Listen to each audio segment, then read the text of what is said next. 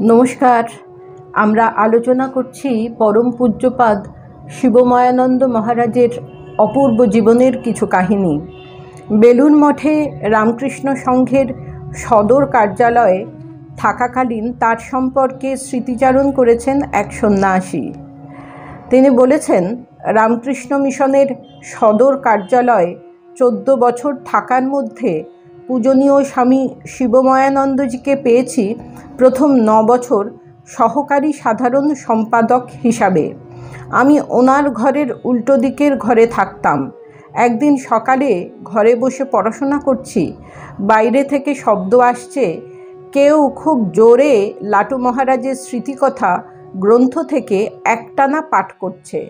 দরজা ফাঁক করে দেখলাম শিবময়ানন্দজির ঘরে যে ছেলেটি সেবা করে, সে মহারাজের ঘরের সামনে দাঁড়িয়ে পাঠ করছে আর মহারাজ চেয়ারে বসে কিছু পড়ছেন। আমাদের অফিস যাওয়া অবধি সে পাঠ চলতেই থাকল। দুপুরে প্রসাদ পেয়ে ফেরার পথে শিবময়ানন্দজির সঙ্গে দেখা হতে সকালের পাঠের কারণ আমরা জানতে চাইলাম।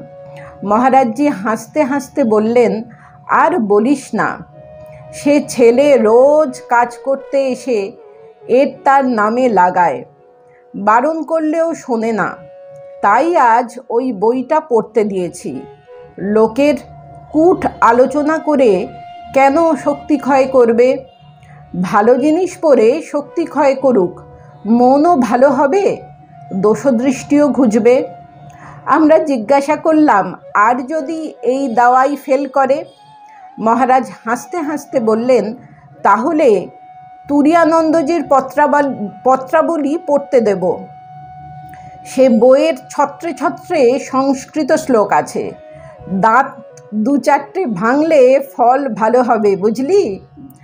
আমরা অবাক বিস্ময়ে দেখলাম, এক কল্যাণকামী সন্ন্যাসীকে যিনি এমন শাস্তি দেন, তাতে যিনি শাস্তি পাচ্ছেন তিনি সংশোধিত হচ্ছেন, সঙ্গে সঙ্গে তার মনও উন্নত হচ্ছে। দু হাজার সাত সালে মহারাজ সহকারী সম্পাদকের পদ ছেড়ে সদর কার্যালয়ের রামকৃষ্ণ বিবেকানন্দ ভাব প্রচার পরিষদের আহ্বায়কের দায়িত্ব পালন করতে থাকেন। ভাবপ্রচার পরিষদের শ্রীবৃদ্ধি ও সদস্য আশ্রমগুলির মঙ্গলের জন্যে মহারাজের অবদান চিরস্মরণীয়। এই সদস্য আশ্রমের প্রায় প্রত্যেকটির সঙ্গে তার ছিল হৃদ্যতার সম্পর্ক, আর তারাও মহারাজের কাছে আপন বোধে দাবি জানাতো। মহারাজ উনিশশো একানব্বই থেকে দু হাজার চোদ্দ পর্যন্ত দীর্ঘ দুই শতকের বেশি সংঘের ভাবপ্রচার পরিষদের আহ্বায়ক ছিলেন এবং কার্যনির্বাহের দিকটি দেখভাল করতেন। বেলুন মঠের প্রতিনিধি হিসাবে বিভিন্ন ভাবপ্রচার পরিষদের অধিবেশনে যেমন তিনি যেতেন, পরবর্তী সময় উপযুক্ত সাধুদেরও প্রতিনিধি হিসাবে পাঠাতেন। কীভাবে ঠাকুরমা স্বামীজির ভাবটি প্রচার করতে হবে, তা অত্যন্ত প্রাণবন্তভাবে তিনি বুঝিয়ে দিতেন। ভাবপ্রচারের মূল উদ্দেশ্য যে ঠাকুরমা স্বামীজিকে ভালোবাসা আধ্যাত্মিক জীবন গঠন সেদিকেই সকলকে নজর দেওয়ার কথা বলতেন। কিন্তু কেবল উপদেশ কিংবা নির্দেশের মাধ্যমে নয়, বরং নিজের জীবনে আচরণের মধ্যে দিয়ে। ভাবপ্রচার পরিষদের কাজ এবং ভাবপ্রচারের কাজের মধ্যে যে পার্থক্য আছে, তা বোঝানোর জন্যে তার দীর্ঘকালের অভিজ্ঞতার ফলস্বরূপ একটি অতি মূল্যবান প্রবন্ধ তিনি রচনা করেন। নাম দেন ভাবপ্রচার বনাম ভাবপ্রচার পরিষদ। সাংগঠনিক দিকে আরও বেশি সচেতন না হলে ভাবপ্রচার পরিষদের সদস্য আশ্রমগুলির যে দুর্দশা হয় তা দেখেই তিনি এই অমূল্য রচনাটি ভবিষ্যতের জন্যে রেখে গেছেন।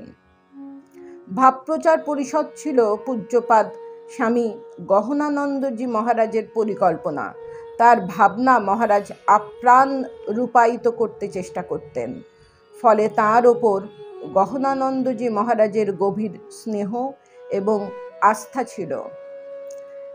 এরপর দু হাজার নয় সালে তিনি কলকাতায় স্বামীজির পৈতৃক বাড়ি কেন্দ্রের অধ্যক্ষ রূপে দু হাজার বারো অবধি সেখানে ছিলেন। সে সময় কেন্দ্রটির বেসামাল অবস্থা সামলে দিয়ে তিনি আবার ফিরে আসেন বেলুর মঠে। স্বামীজির বাড়িতে একটি ছোট দাতব্য চিকিৎসালয় ছিল। পরে তার উৎসাহে সেটি বড় হয়ে চোখের ডায়াবেটিস ইএনটি এইসব ইউনিট যুক্ত হয়েছিল। তিনি নিজে যেমন স্বাধীনভাবে চলাফেরা, কাজকর্ম করতেন, তেমনি তার অধীনস্থ কর্মীদেরও স্বচ্ছন্দে স্বাধীনভাবে কাজ করতে দিতেন। এটাই তার মহানুভবতা। নমস্কার। प्राणाराम प्राणाराम प्राणा